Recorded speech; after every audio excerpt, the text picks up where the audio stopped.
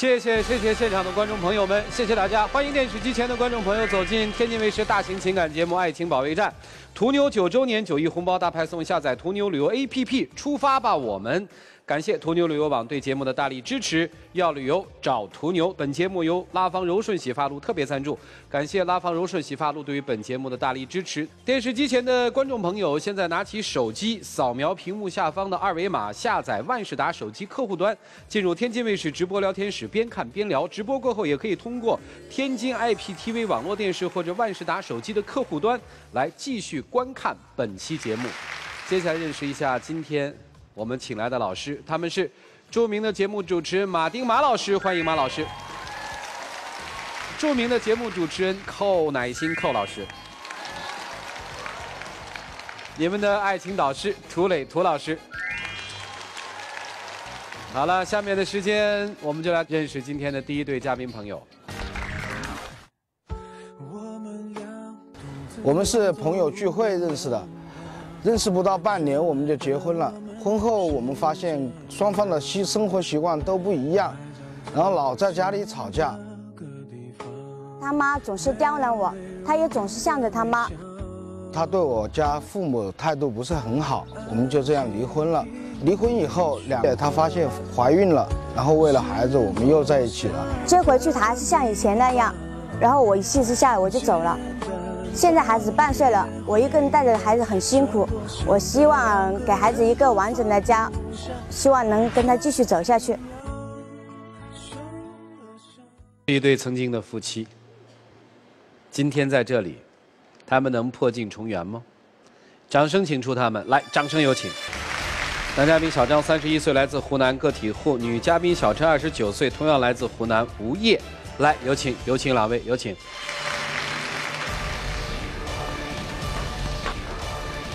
欢迎两位哈，结婚多久？我们结婚不到半年就离婚了。不到半年就离婚了，认识多久结的婚？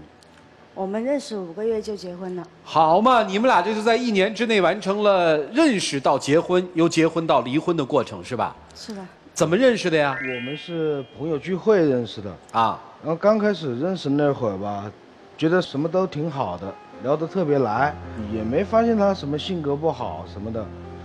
呃，这会儿也老大不小的，家里也催了，我们就决定结婚了。怎么结婚五个月就又离了呢？我们结婚之后老是吵架，生活习惯也有很多不同，所以我们就选择离婚了。谁提的？我提的。原因是？是因为他有一次我跟他在房间里面吵架，他妈不管三七二十一就冲进来就。指责我说我不懂事，说我这也不好那也不好，然后我当时我就是把我压抑了很久的情绪我就发泄出来了，可能说话的声音比较大了一点，当时他就觉得我不尊重他的妈妈，然后犯得着对老人是那样说话吗？他然后就拿着我的衣服往往门外面扔，叫我滚。后来第二天我到家里面去开门的时候，发现门锁已经换了，我当时就很气愤，我觉得他做的太绝了。他既然做这么绝，我就觉得我们两个没有在一起的必要了，我就选择离婚了。第二天他回来拿东西吧，我正好上班去了，我妈也出去买菜，就回来没带钥匙，然后就打电话给那个吉开锁的，就把那门锁敲坏了，刚好就赶着他回来拿东西，他就说我们故意把那个门锁给换了，这完全可以说开吗？说开不就不离了吗？为什么还离了呢？是他不信是吗？对他不信，他说我我叫他滚的，然后成天在家里吵嘛，然后你就同意离婚了？对，从离婚到现在有多久？我们是去年八月份离的婚。去年八月到现在有一年多时间啊，是谁提出的想复婚？是我，因为我从小孩出生到现在，我一我一直是一个人。到医院。小孩出生，嗯，哪来的小孩？我们离婚之后，我发现我怀孕了。哦，离婚之后发现怀孕了。嗯，我们离婚两个月之后，我身体就不舒服，然后我到医院去检查，医生就告诉我我已经怀孕五个月了。离婚的时候你不知道她怀孕啊？我不知道。你也不知道你自己怀孕吗？我不知道，都五个月了，因为当你还不知时之前我身体也不怎么好嘛，而且我跟我是那种就是很长半年来一次例假的那种，所以我当时也你的没发觉。生理周期本来就很不正常，是不是？是的所以没有办法推算怀哦孕，不知道，也没有嗯呕吐，什么都没有。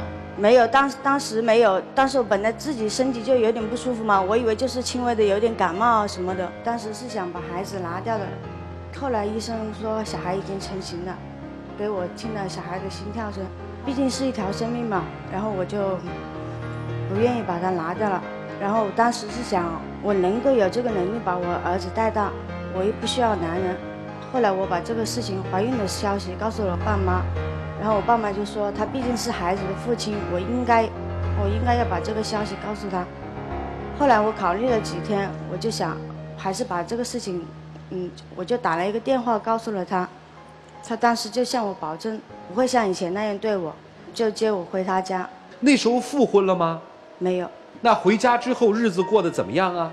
回家之后他还是那样，他们家人也没管我是不是怀孕了，反正对我还是像以前那样。你说我妈老刁难你，还说我家一家人都合伙欺负你，那那本来你妈就是嘛，全家啊？人的衣服都给洗，就我的衣服不给洗。那你的衣服就乱扔，房间的也是，那个客厅沙发也是。那我妈知道哪件该洗，哪件不该洗吗？是你说的那样吗？明明我的衣服就是给你们放在一起，你妈就把我的衣服拎出来，你们的都给洗了，就我的不给洗，难道不是刁难我吗那？就算有一两回这个事，那也是因为你衣服贵嘛，我妈分类洗嘛。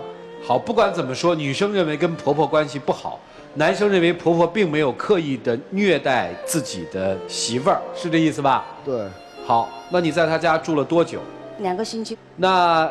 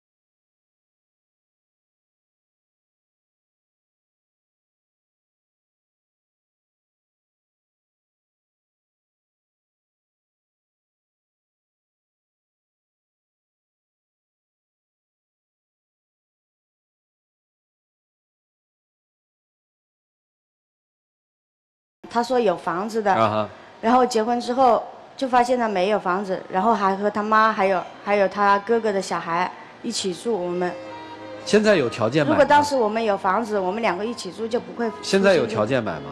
我觉得他如果能改一点脾气，我们两个都互相谦让一下，那那那这是我肯定会去做到的。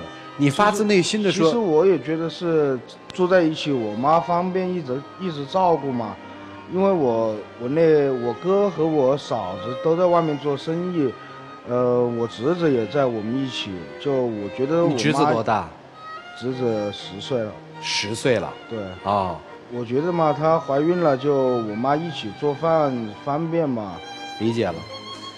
你现在对她是一个什么感情？你告诉我。如果没那儿子，你跟他复婚吗？如果一人退一步的话，如果他真的可以没那儿子，你跟他复婚吗？可以脾气好一点的话，我觉得我们可以在一起。没那儿子，你跟他复婚吗？不知道。你觉得他要改的是什么？别老说脾气，你把它细化，说三条就行。就有什么事你可以直接跟我说，别当着我妈的面说。好。第二就是，我觉得我妈有时候做饭的时候、做家务的时候，你可以去搭把手。那，第三就是，我觉得，不管家里是什么事，我们两个人总要有个商量，不能什么事我们就吵。那如果他能做到这三点，你能为他改一些什么呢？肯定会改变我不好的习惯，比如像他说的，很少时间陪他嘛。好了，就是这样一对曾经的夫妻，就是这样一种生活的现实，老师们会开出怎样的药方呢？一起进入丘比特问卷。我挺能理解这女孩的。你们俩在没什么太多爱情基础的情况下，让你到一个陌生的家庭，还得伺候婆婆，啊，然后还面对一个哥哥嫂子的留守儿童，这个基本上没有女人能搞得定。你媳妇儿她搞不定是正常的，再加上当时她不知道自己已经怀孕，人一旦怀孕之后，激素水平迅速变化，她为什么闹脾气？为什么不高兴？为什她不舒服？她跟平时状态不一样。包括你说你她生完孩子，你再给她打电话，她也不接，不理你，都很正常。产后我觉得多多少少都有些抑郁。我老婆是个很温顺、很很懂礼貌的女孩，生完马奇朵之后那三个月，我觉得她变了一个人，动不动就发脾气、摔东西还哭。她就是得不到很好的休息，他的心理状况不一样了，他就是变得他自己都不认识自己。这个时候除了包容、理解、呵护他，你还能做点什么呢？你不懂这些，你就认为你不讲理，你混不讲理，多可笑的一件事情，各位！你错过了你人生中最美妙的一段时间，陪着妻子看着肚子越来越大，看着孩子分娩的第一声哭声，听到作为爸爸最幸福的一刻，你错过了，就因为你自己的坏脾气，就因为你不懂，就因为你跟自己老婆怄气，你没有看着孩子从零岁出生，然后到到到半岁的这个过程。你没给他换过尿布都，都没人生不完整，你知道吗，兄弟？你本来可以拥有这一切，完了现在你还在这儿提条件，你已经是个爹了，你什么都没负起责任，现在你还在这儿提条件，你好意思吗？整个的这个事件过程中，我觉得你太太没有太多的问题，她就是不会，你妈妈也没什么问题，老人家怎么苛责？最主要的问题出在你身上。如果你真觉得没感情，孩子照样给抚养费，你担负起一个父亲离异的父亲该承担的责任，跟人说明白。但是我建议你自己先调整一下。婚姻这回事，并不是在网络上购物，它并不是用了不合就可以换的一件这么。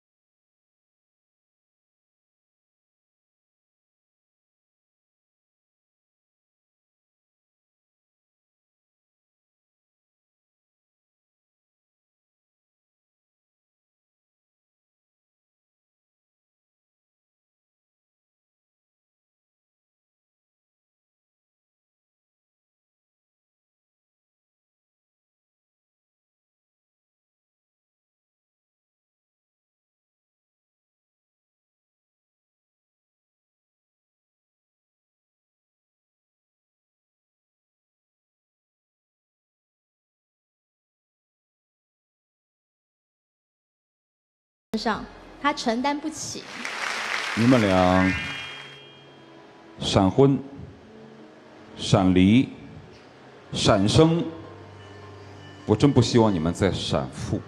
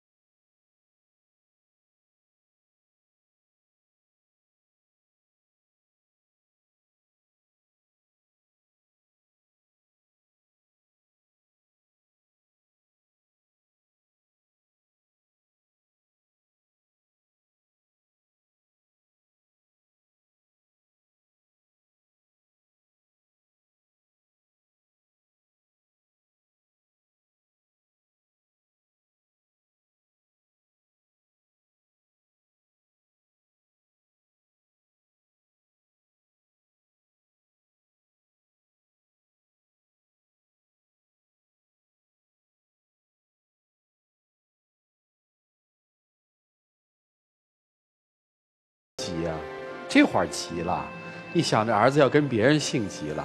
好了，接下来一起进入柔顺拉芳黄金六十秒。在你走的这段时间里，我确实突然很想很想你，也很想宝宝。我觉得我们在一起也没有什么感情上面的不和，主要就是因为家里一些琐事，我们一人退一步，我也会做好今后照顾你和宝宝，不管是为了孩子还是为了我们自己，我想和你一起走下去。希望你回来。真的，每天晚上我也开始确实不懂，每天晚上翻着那个育婴书，都看了那些带宝宝的知识。我知道你很苦，我也知道你受了很多委屈。我想，时间到，对不住啊，我再给你一个机会啊，给复婚开点条件嘛，对吧？我就希望有我们俩属于我们俩的房子，不管房子有多大有多小，只要有自己的房子就够了。答应吗？啊，答应，大声一点。答应。好了，两位回去吧，谢谢。哎，我们看到了，这叫，这是这算四闪夫妻吧？闪婚、闪离、闪孕、闪富。来，请关门，请关门。接下来插一段小广告。下载使用天天圈提出情感问题，就会得到导师们的在线解答，并有机会在爱宝节目中得到涂老师的一对一指导。使用微信摇电视参与互动，点击左上角的宝箱抽取现金卡奖。途牛九周年九亿红包大派送，下载途牛旅游 APP 出发吧！我们在这里感谢途牛旅游网对本节目的大力支持。要旅游找途牛。接下来我们来看这一对的选择是什么？请开门，请开门。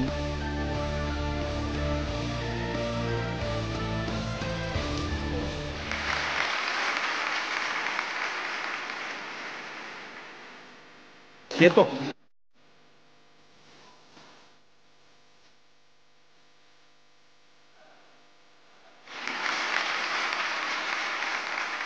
你不会骗他第二次吧？第一次说结婚以后我们俩单住，现在复婚你又说了我要买房单住，你不会骗他第二次吧？不会，不会骗他。来，有请我们的小花童。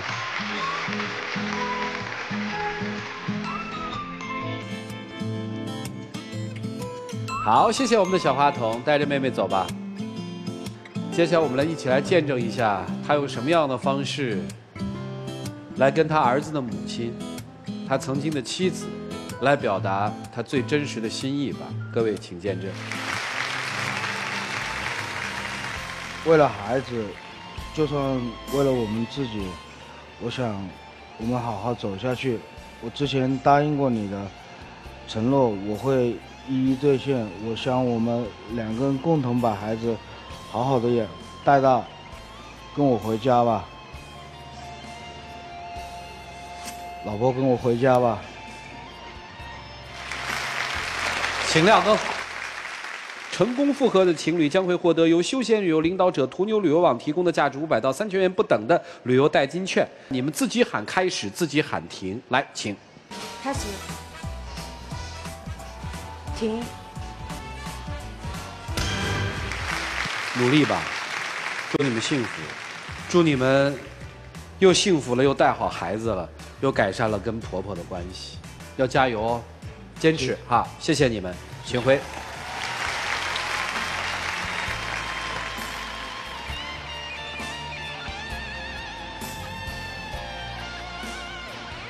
祝他们幸福吧，希望他们能够开心，希望那个六个月的宝宝能够健康的成长。接下来我们来看下一对嘉宾遭遇了一些什么。我们是上大学认识的，刚开始觉得他挺可爱的，就开始追他，现在在一起两年多了。刚开始他对我挺好的，然后我说什么他都听，可是慢慢的我觉得他脾气挺大的。我们两个人的性格都挺固执的，只要是自己认定的事儿，就谁说都不行。因为这个，我们经常吵架。每次一点小事他就跟我针锋相对，真的太累了。我觉得他根本就没把我当他女朋友。我看这两个人真是互不相让啊！接下来，掌声请出这一对，掌声有请。男嘉宾小崔，二十四岁，来自河北，是一名职员；女嘉宾小平，二十三岁，同样来自河北，也是一名职员。来，有请，有请两位，有请。今天谁要来这个节目的？我我觉得现在和他在一块儿吧，你说我俩，你说生活中什么事儿他都跟我吵，吵来吵去的。你说要是吵不出来个结果吧，非得拽着你。我跟他在这这种状态下跟他相处，我觉得没法相处下去了。哦你，说你是来分手的是吧？对，不是每个事儿都得分出对对错来吗？一就是一，二就是二。那你有必要这样跟我吵吗？天天吵，可是我现在都有咽炎了，我经常就背着咽片儿。你以为我想跟你吵吗？每次给你讲道理你都不听。你一个大男生让着我一点不就行了吗？你说我一个女生，你心胸宽广一点。现在这个社会都讲究男女平等了。再说了，我整天生活压力那么大，我凭什么让着你啊？你就不能温柔一点、体贴一点吗？那你工作压力大，我工作压力就不大了吗？你说你找那工作一个月才给两千块钱，两千块钱够干嘛的呀？还两千块钱怎么？了？只要我认真干，我认为我在这个公司有前途，将来能有出国实习的机会，回来后还能是两千吗？你觉得你考虑的那现实吗？你们公司每年才能出去几个呀？你觉得你有那个能力出去吗？你还出国实习？你为什么就不相信我有这个能力呢？就冲你这点，我看我也成功不了。一个成功男人背后肯定有一个女人支持他。我的观点呢？你说在我们公司有什么不好的呀？你说又不是不招人了，一个月拿三千五百块钱够吃够花的不就行了吗？我想这样踏踏实实的过日子。你的眼光也太狭隘了吧？你就不能考虑的长久一点吗？现在是三千五，以后还是三千五，你一辈子只拿三千五的工资，什么时候买得起房？什么时候买得起车呢？你说就这件事儿，你来争来争去的，你都跟我吵多长时间了？那天晚上打电话给我打了好长时间，一直打一直打，你都打到一点了，你说第二天还要上班呢，一直在这给我打个没完，非得把这件事说是他他认为的就是正确的，我认为的就是错误的。明白了。你还好意思提这个事儿呢？我给你打了五十多个吧，你一个也不接，我以为我以为你出什么事儿呢？好，有你这么固执的吗？各位观众，您正在收看的是国际大专辩论赛的第二单元的比赛。刚才双方的一辩分别阐述了大学毕业之后，到底应该是有一个好机会去网上就业呢，还是满足于现在的一个工资的问题？双方的一辩由于同时又是情侣关系，所以形势极其之复杂。接下来我们问一下寇评委，他们俩哪个人的观点是正确的呢？到目前为止，我只听到了一个点。其实我觉得事情太过琐碎，但是呢，唯一的一个点就是呢，你是被他带到这个辩论的状况下的，因为他不想辩，与其好变哉，但是他很想变。好，所以任何事情都一定要吵出一个结果，是不是这样？对，这就是我的性格。这处处跟我针锋相对，什么事儿都跟我针锋相对。好，我们进入第二回合的辩论。来，请，你是正方还是反方？正方啊，请对方的男辩友开辩题。来，那次他竟然还说故意出手把他拉倒了，根本就没这回事儿。本来就是，你说我一个女生，他就那么拉我一下，你就把我摔地上了。你说我俩现在都成互殴的状态了，你说我我有办法跟他相处下去吗？哪有互殴？你说也太严重了吧！我当时不就着急点吗？还不是因为你先推的我吗？我就当时拉着你一把，你就摔倒了。我也不是故意的，我就想耽误你几分钟把这个事情说清楚不就完了吗？我一个女生推你能有多大劲儿啊？你说在生活中她也是这样。你说我要是打她几下吧，打她三下，你说她都记得清可清楚了，就按三下就还给我，还得打给我。每次都打得挺疼的。你会还手吗？会啊。我一个女生能有多大劲儿？你说一个男生连这点都不能体姑娘他如果嫌打的不舒服，你打别的男生去吧，可以吗？不可以，为什么？因为她是我的女朋友啊。哦，所以不可以打别的男生，那就让他打你呗，较什么劲呢？那不行，我最讨厌别人随便打我了。你说有你这样的男朋友吗？你说什么立场你都觉得你是对的，我都是不对的。，好，我们进行第三场的辩论，正方。就是说大学的时候吧，有、嗯有一次她跟我讲述一个她闺蜜的事儿，当时我特别不愿意听这个事儿。那你说我闺蜜在大学的时候，你说我俩关系挺好的是吧？闺蜜的事不就是我的事吗？你说我闺蜜找一个男朋友，就是平常的时候老是花我闺蜜的钱，老是骗她吃的，骗她喝的。然后还有一次就是正好我和闺蜜我俩撞见她男朋友跟别的女生要微信号，说晚上请人吃饭。我闺蜜多伤心呀！你说她她，我觉得她挺可怜的。你说我生活中我也是一个比较强势的人，我觉得我就应该找她理论一下。我这事就跟她说了一下，她冲我发火了，觉得跟我急了。没事，你给我讲这个事情干嘛？我又没那些毛病。我说的是你吗？你看他总是这样认为。你说我说闺蜜的事跟你有关系吗？我说的就是他，我也没让你帮我什么忙，我也没让你怎么样啊。再者说了，人家的事儿轮到咱们管吗？人家的事儿你也管不了，以后你少管这种事儿。我闺蜜的事儿不是我的事儿吗？我俩关系那么好，你说你非得认为你是对的，我觉得我找他理论没有什么错，他俩可好之后肯定会埋怨你的。我就找他理论一下，我有什么错呀？你非得你怎么不说结果呢？最后怎么着？最后你闺蜜还是埋怨你了吧？这就是你不听我话的下场。有你这样的人？好，第三回合辩论打住。呃，接下来这个我们就不要再进入自由辩论了，由本主席开始提问式的辩论。你们在日常的恋爱生活当中，会为特别鸡毛蒜皮的琐事而争吵吗？这种事儿真的太多了。你说他平常也不怎么陪我，好不容易有一次吧，他说主动请我看个电影，我说走走散散心，跟他散步去，他不同意，非得要骑着车子去。你越提这个事儿，我越生气。我当时说骑自行车去，你非得走着去。我不就是要想让你多陪我一会儿吗？走着去啊。再者说了，那个电影还有二十多分钟就就要开始了，走着去时间能够吗？怎么不能够？要不是你在道上跟我那样争吵，能不够吗？他说你爱走着去，走着去吧，我就骑着车子去。结果他又把我，我就走着去，让他在旁边骑着车子，我心里多委屈啊！你说有能有这样的人？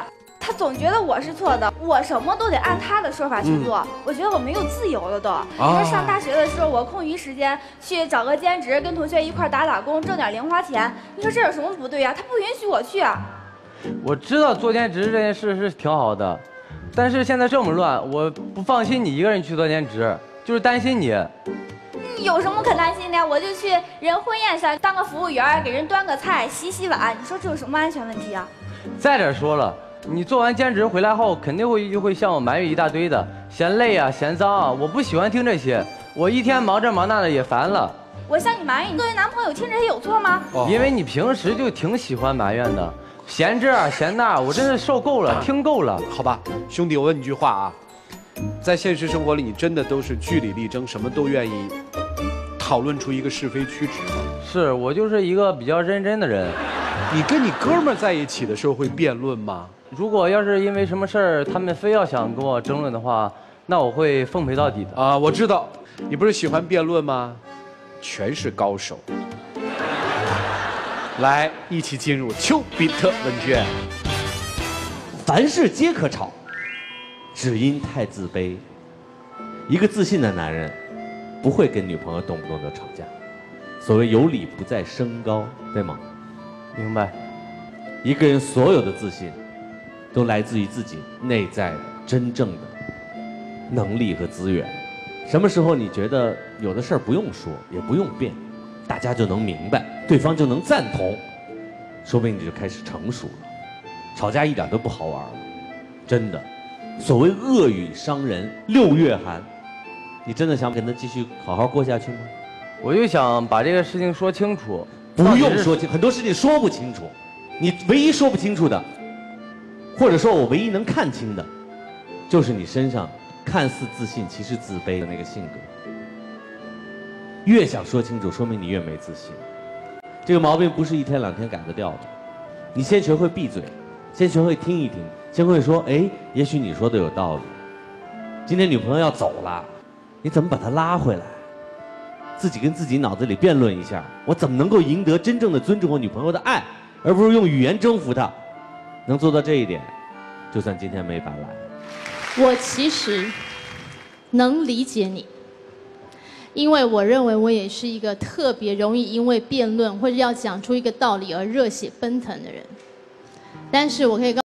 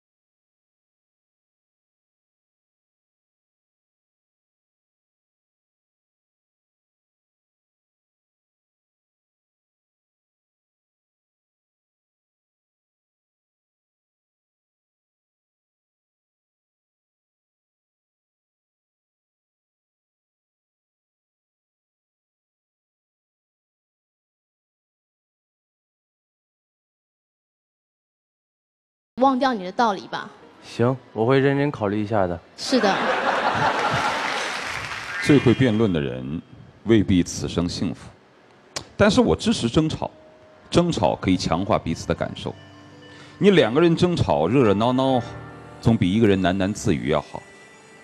但是如果你自己一个人喃喃自语到你要对着一个人的墓碑去喃喃自语的时候，你就会想，当初为什么不多让着他一点？所以说，这就是生活。其实，在生活当中，偶尔的争吵，因为生活当中的常理争吵，因为某些有价值的东西争吵，没有问题。但不要带情绪。我们会发现，如果你真的把对方踩在脚底下的时候，你得不到预期。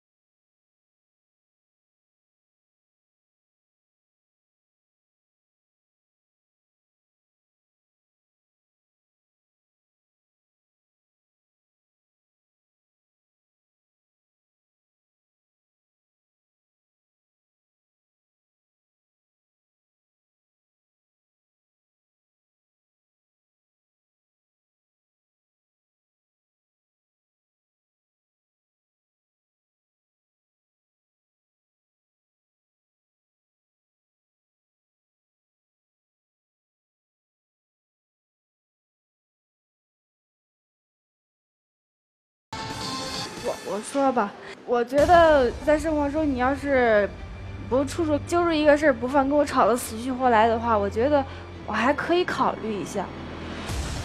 那我可能觉得咱俩在某些可能是有些不同，但是我还是爱你的，我不想分手。你能再给我一次机会吗？如果你要让着我的话，我觉得我还可以再考虑一下。两位请回吧，谢谢你们，请回。哎呀，我们看到了一对在生活当中一定要争个高低上下的恋人们。男生说他的辩论是为了追求真理，因为他总想知道对和错。各位，如果你的另一半也是这样，无论大事小情都要跟你争个高低上下和对错，在座的各位会怎样选择呢？继续跟他在一起选赞成，逃跑选反对。各位，请选择。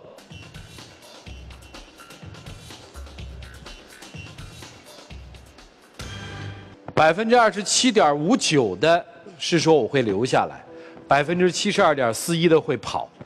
你会离开吗，姑娘？我会，为什么？因为我受不了就是这么据理力争的啊每件事情都要求一定要有个结果啊有，你在生活里不较劲吧？不叫，就是对于有一些事情需要较劲的也就该较，啊但是这样的小事儿就算了，是吧？对。啊，谢谢啊，来来来，我也选择离开，因为我觉得就是男生就是应该让着女生，哦，然后凭什么我们就要让着你？很多时候我觉得就是在那些小事儿上，男生就应该让着女生。谢谢你的分享啊，这是他的看法。其实我相信，大多数的女人还是希望男生能让着自己的，所以要想让生活幸福，互相多让让吧，看看他们自己的选择。在此之前，我还是要进一段广告。途牛九周年九亿红包大派送，下载途牛旅游 APP，出发吧！我们感谢途牛旅游网对本节目的大力支持。要旅游，找途牛。他们的抉择是什么？请开门，请开门。